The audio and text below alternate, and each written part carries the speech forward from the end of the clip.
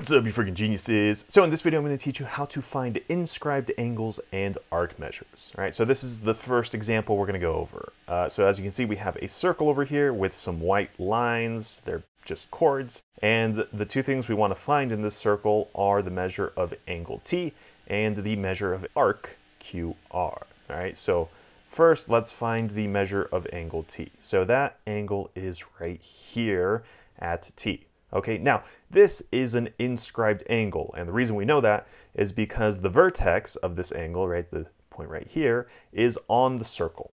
Okay, same thing, just for clarity, uh, this angle over here, angle R, we can call it, is also an inscribed angle because the vertex of the angle is on the circle.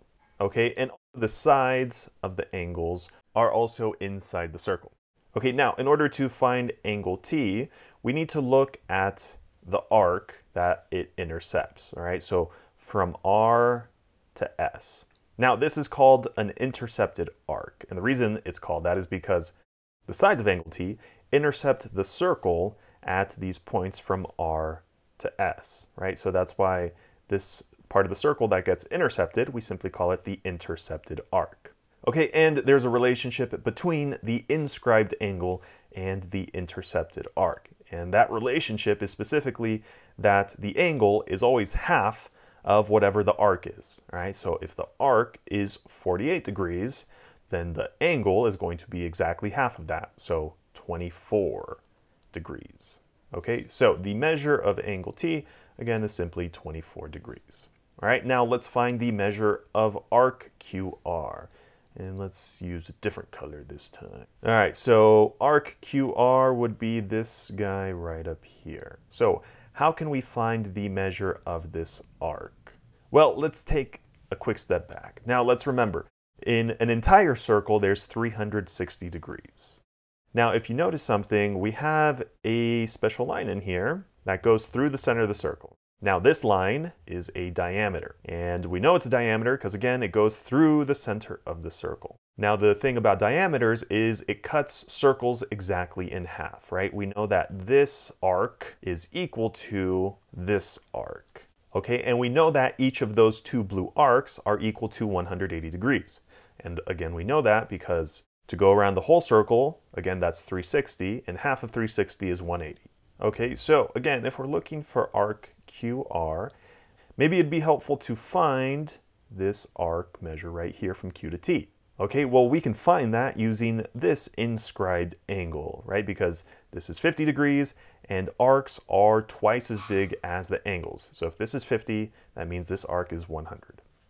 Okay, so if this arc is 100, then this other arc from Q to R must be 80. All right, here's our next example. So again, we're given another circle with a couple chords drawn inside, and we're given a couple arc measures. This is 70, and this one from G to D is 120. And here we want to find the measure of angle G. So angle G is this guy right here. All right, so if we want to find this angle, it'd probably be helpful if we knew what this arc measure was, right? And we can certainly figure that out because remember, when you add up all the angles around a circle, they should be 360 degrees, right? But as you can see, we're already given part of the circle, right? We're given that this is 70 and this is 120. So that would mean that this arc right here from D to F would be 270 degrees, right? Because 70 plus 120 plus 270 is equal to 360.